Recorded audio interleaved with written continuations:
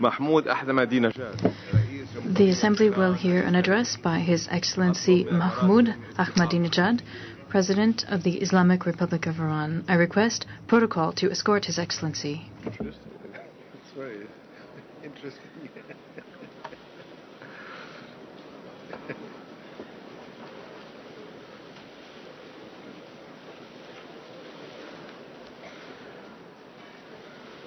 باسم الجمعية العامة يشرفني أن أرحب في الأمم المتحدة On behalf of the General Assembly, I have the honor to welcome to the United Nations His Excellency Mahmoud Ahmadinejad, President of the Islamic Republic of Iran, and to invite him to address the Assembly.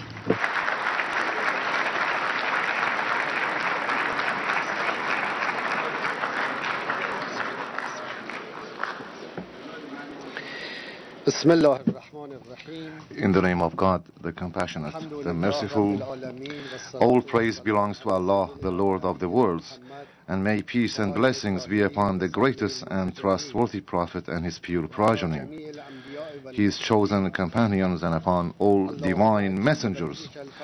O God, hasten the emergence of your chosen beloved. Grant him good health and victory. Make us his best companions and all those who attest to his rightfulness. Mr. President, Excellencies, ladies and gentlemen, I thank the Almighty God for having once more the chance to participate in this meeting. We have gathered here to ponder and work together for building a better life for the entire human community and for our nations. Coming from Iran, the land of glory and beauty, the land of knowledge, culture, wisdom, and morality, the cradle of philosophy and mysticism, the land of compassion and light, the land of scientists, scholars, philosophers, masters of literature, and writers. the land of Avicenna, Ferdowsi, Hafiz, Maulana, Attar, Khayyam, and Shahriyar. I represent a great and proud nation that is a founder of human civilization and an inheritor of respected universal values. I represent a conscious nation which is dedicated to the cause of freedom, peace and compassion, a nation that has experienced the agony and bitter times of the aggressions and imposed wars and profoundly values the blessing of peace and stability. I am now here for the eighth time in the eighth year of my service to my noble people in this august assembly of sisters and brothers from across the world to show to the world that my noble nation, like its brilliant past, has a global vision and welcomes any effort intended to provide and promote peace, stability, and tranquility, which can only be realized through harmony, cooperation, and joint management of the world. I am here to voice the divine and humanitarian message of learned men and women of my country to you and to the whole world. A message that Iran's great orator and poet Sa'di presented to humanity in his eternal two-line poetry. Human beings are members of a whole in creation of one essence and soul. If one member is afflicted with pain, other members uneasy will remain. I have talked in the past seven years about the current challenges, solutions, and prospects of the future world. And today I want to raise and discuss such issues from a different perspective. Thousands of years has passed since children of Adam peace be upon him, started to settle down in various parts of earth. Peoples of different colors, inclinations, languages, customs, and traditions pursued persistently to fulfill their aspirations, to build a noble society for a more beautiful life, blessed with lasting peace, security and happiness. Despite all efforts made by righteous people and justice seekers and the sufferings and pains endured by masses of people in the quest to achieve happiness and victory, the history of mankind, except in rare cases, is marked with unfulfilled dreams and failures. Imagine for a moment had there been no egoism, distrust, malicious behaviors and dictatorships, with no one violating the rights of others, had humanitarian values been viewed as the criterion for social dignity in place of affluence and consumerism, had humanity not experienced the dark age of medieval periods and centers of power, not hindered the flourishing of knowledge and constructive thoughts. Had the wars of crusade and the ensuing periods of slavery and colonialism not happened, and had the inheritors of these dark periods followed the course on the premises of humanitarian principles. Had the First and Second World Wars in Europe, the wars in Korea, Vietnam, Africa, Latin America, and in the Balkans not happened, and if, instead of the occupation of Palestine, and imposition of a fake government, displacement and genocide of millions of people around the globe, the truth behind these wars had been been revealed based on justice.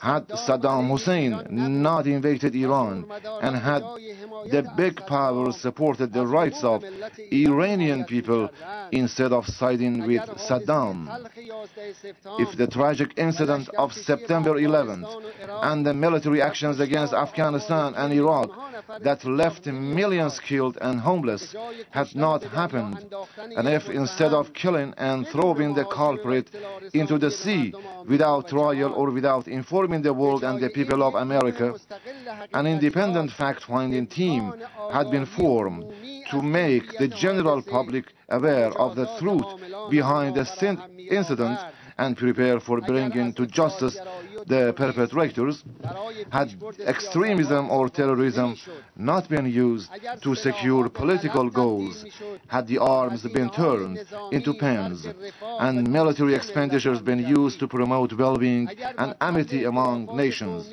had the drum of ethnic, religious or racial conflicts not been beaten, and if differences had not been used for the purpose of advancing political agendas, had the right to criticize the hegemonic policies and actions of the world.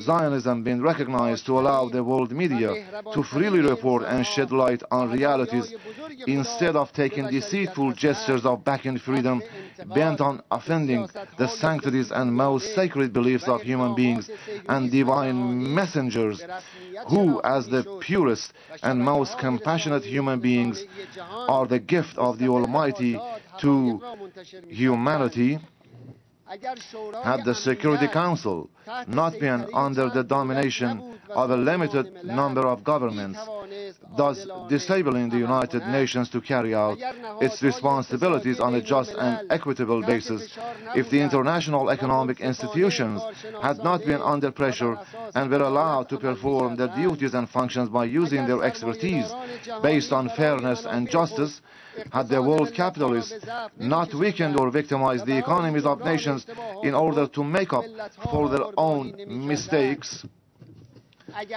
if integrity and honesty had not prevailed on the international relations, and all nations and governments were treated equally and justly in the global efforts to build and expand happiness for the entire mankind, and if tens of other unfavorable situations had not occurred in human life.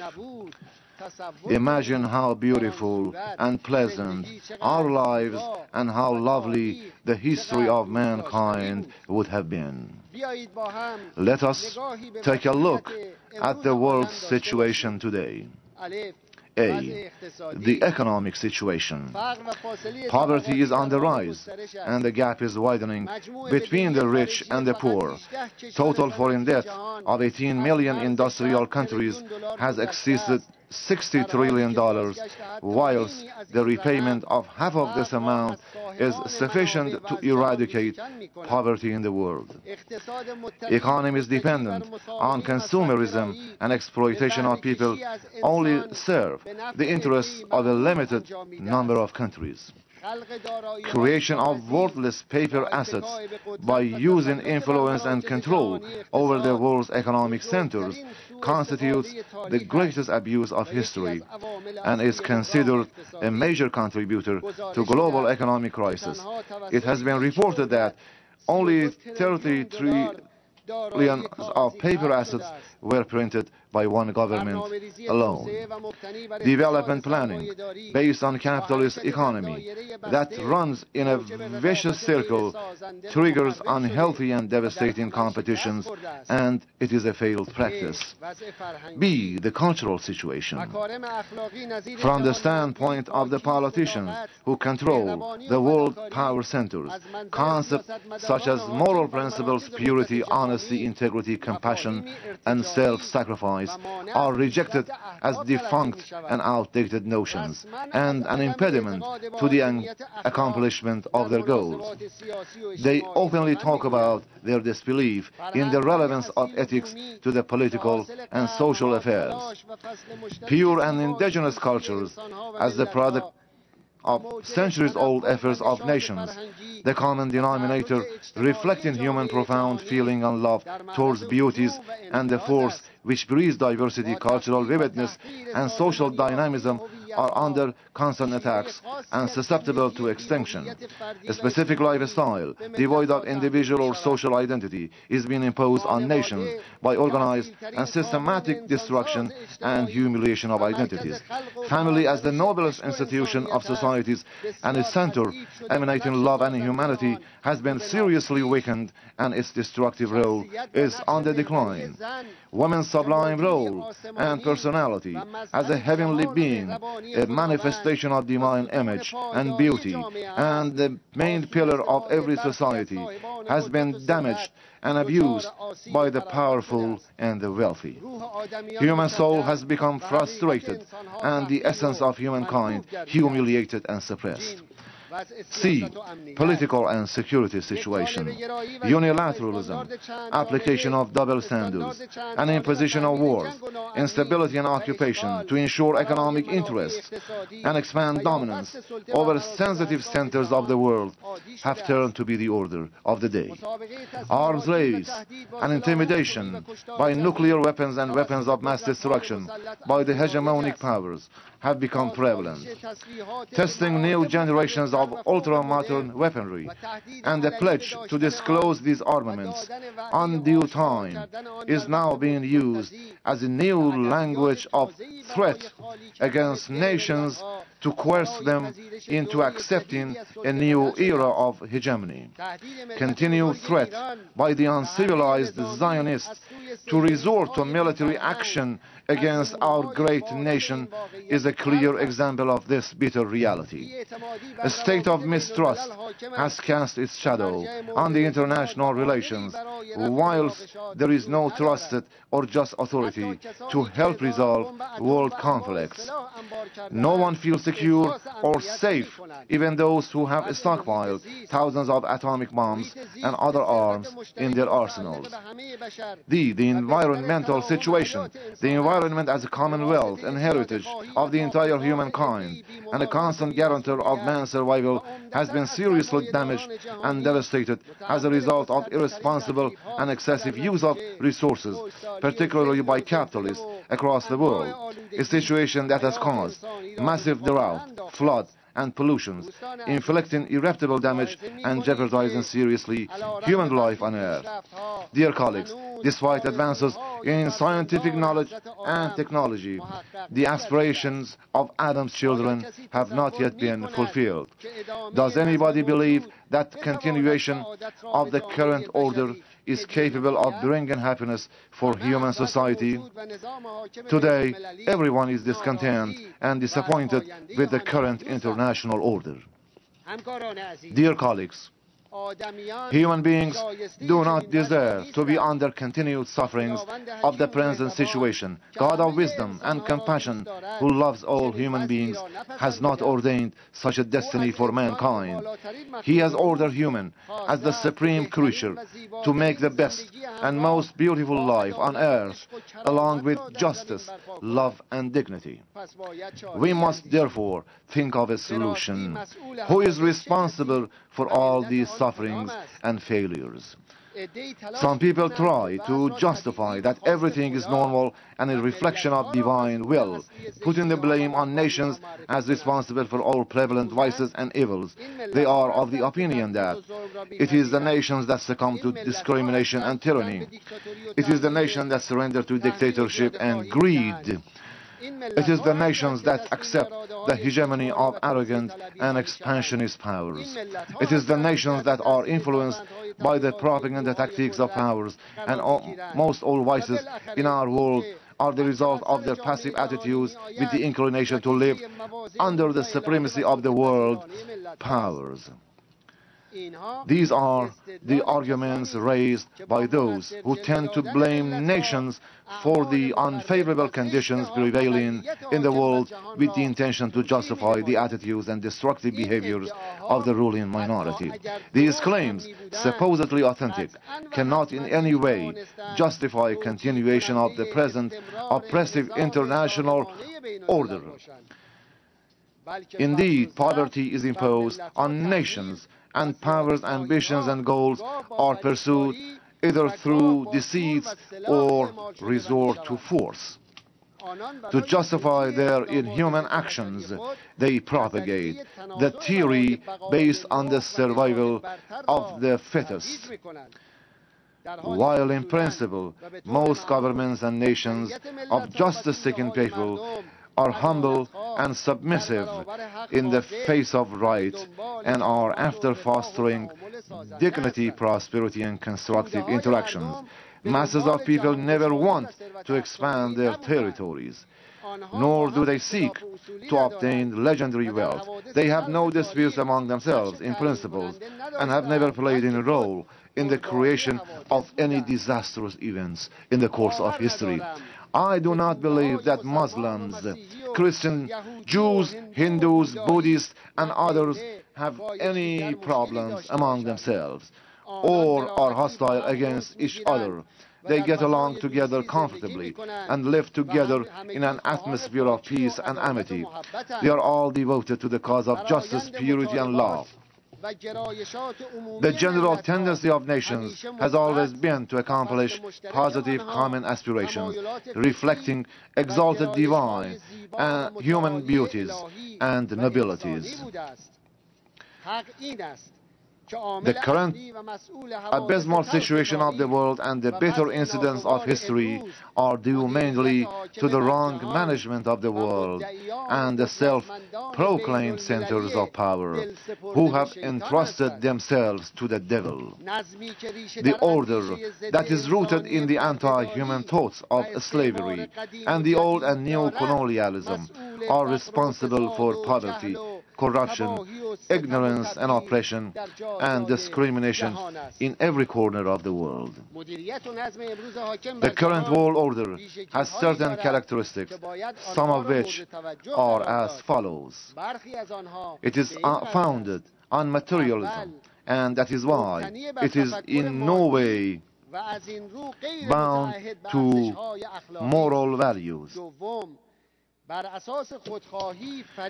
It has been shaped according to selfishness, deception, hatred and animosity. It believes in classification of human beings, humiliation of other nations, trampling upon the rights of others and their domination. It seeks to expand its domination by spreading discord and conflicts amongst ethnic groups and nations. It aims to monopolize power, wealth, science and technology for a limited group. Policies of the world's main centers of power are based on the principle of domination and the conquering of others. These centers only seek supremacy and are not in favor of peace and definitely not at the service of their nations. Are we to believe that those who spend hundreds of millions of dollars on election campaigns have the interest of the people of the world at their hearts. Despite what big political parties claim in the capitalist countries, the money that goes into election campaigns is usually nothing but an investment. In such countries, people have to vote for parties that only represent a small number of people. The will and views of the masses have the least impact and influence on the big decisions, especially those made about the major domestic and foreign policies in the United States and in Europe. Their voices are not heard even if they constitute 99% of their societies. Human and ethical values are sacrificed in order to win votes, and the willingness to listen to the demands of the people has become only a tool at the time of election.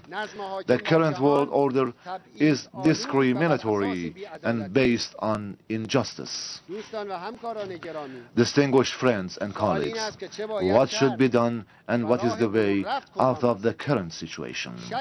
There is no doubt that the world is in need of a new order and a fresh way of thinking, an order in which man is recognized as God's supreme creature, enjoying material and spiritual qualities, and possessing a pure and divine nature filled with a desire to seek justice and truth an order that aims to revive human dignity and believes in universal happiness and perfection.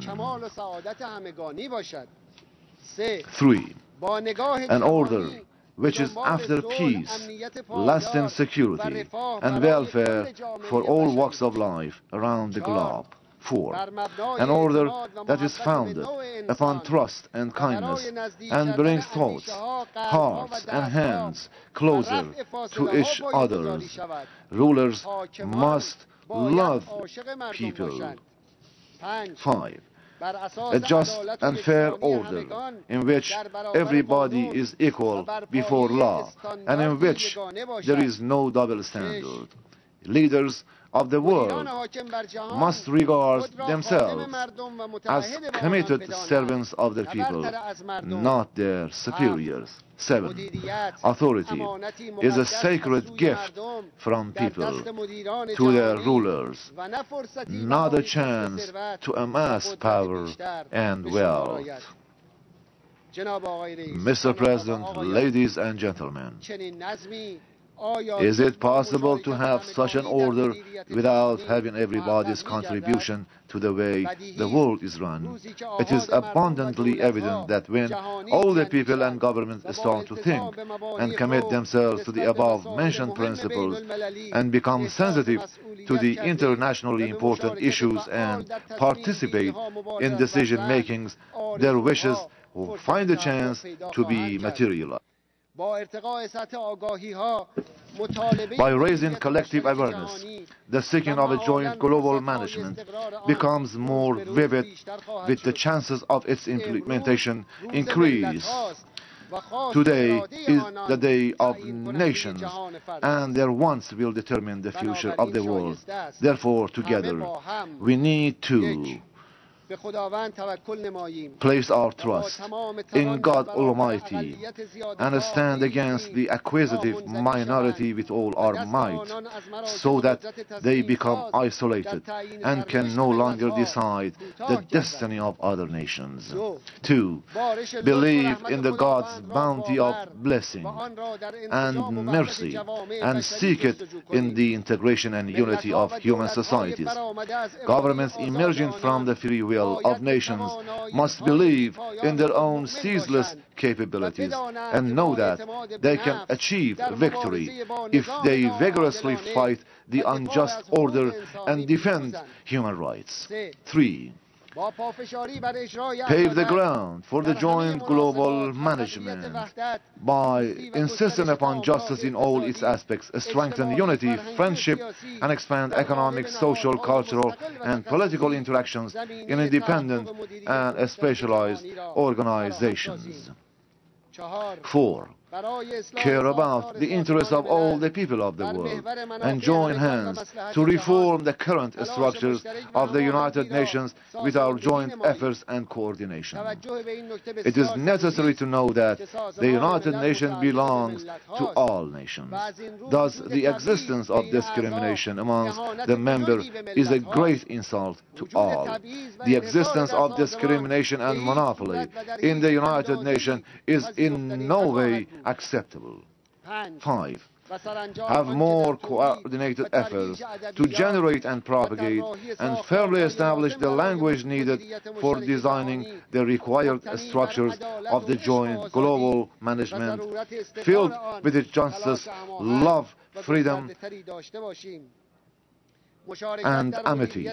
Participation in global management is the basis of lasting peace. The non-aligned movement, as the second largest trans-regional group after the United Nations, held its 16th summit in Tehran with the motto of joint global management cognizant of the importance of this issue and the shortcomings of the current mismanagement in the emergence of crises and problems afflicting the world today.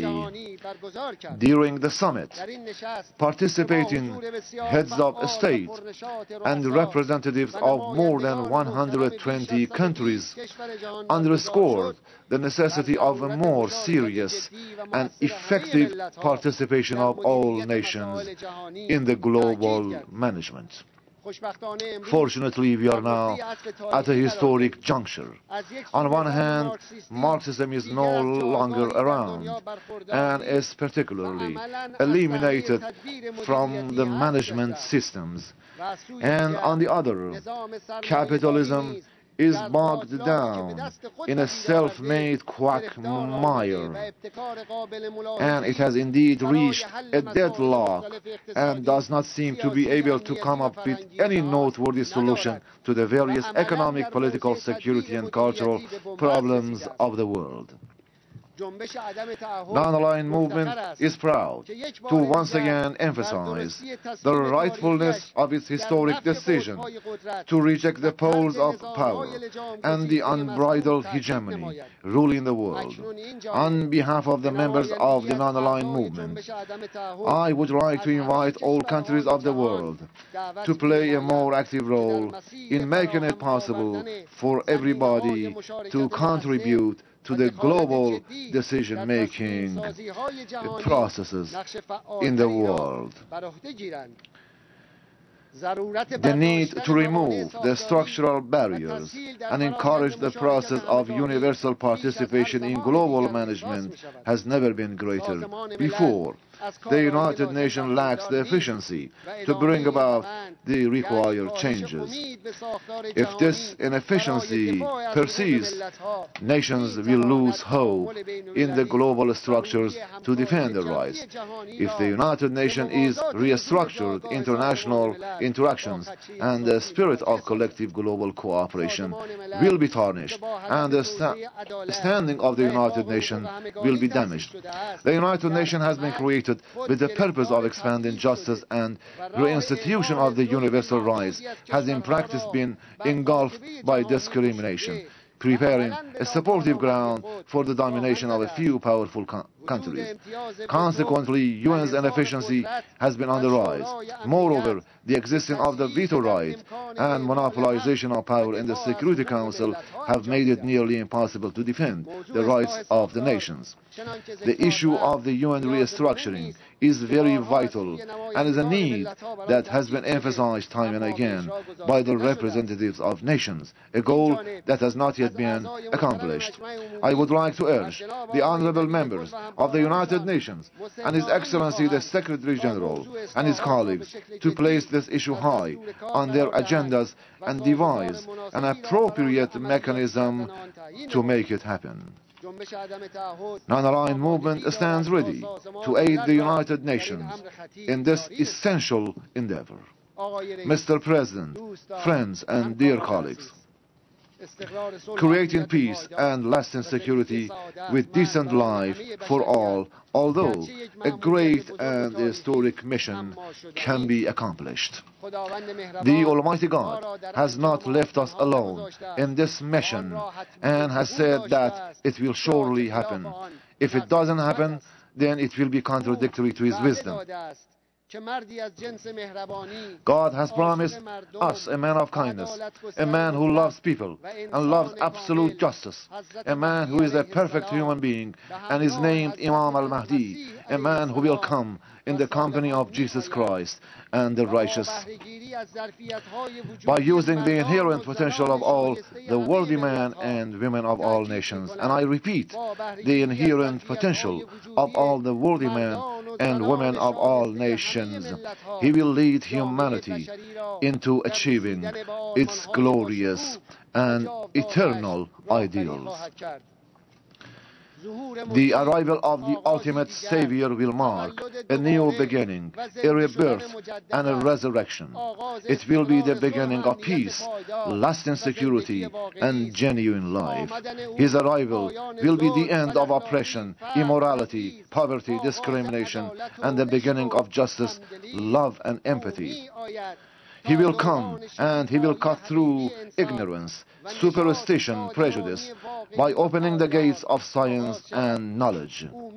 He will establish a world brimful of prudence and he will prepare the ground for the collective, active and constructive participation of all in the global management. He will come to grant kindness, hope, freedom, and dignity to all humanity as a gift. He will come so mankind will taste the pleasure of being human and being in the company of other humans. He will come so that hands will be joined, hearts will be filled with love, and thoughts will be purified to be at the service of security, welfare, happiness, well-being and peace for all. He will come to return all children of Adam, irrespective of their skin colors, to their innate origin after a long history of separation and division, linking them to eternal happiness and joy. The arrival of the ultimate Savior, Jesus Christ, and the righteous will bring about an eternally bright future for mankind, not by force or waging wars, but through thought, awakening, and developing kindness in everyone. Their arrival will breathe a new life in the cold and frozen hearts and body of the world. He will bless humanity with a spring that puts an end to our winter of ignorance, poverty, and war, with the tidings of a season of uh, blooming. He puts an end to the winter of ignorance for humanity. Now we can see and we can sense the sweet scent and the soulful breeze of the spring. A spring that has just begun and doesn't belong to a specific race, ethnicity, nation or a region.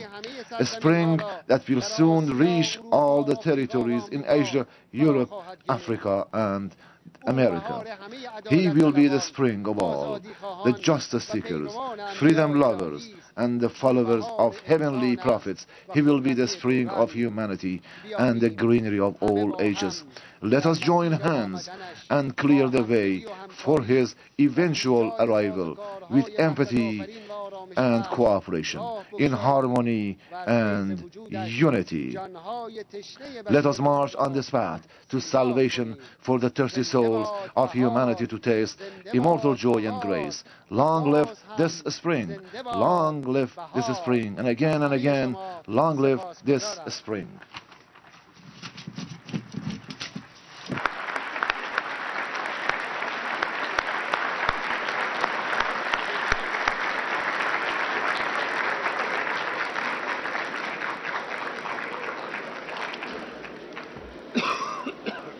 On behalf of the General Assembly, I wish to thank the President of the Islamic Republic of Iran for the statement just made. May I request representatives to remain seated while we greet the President.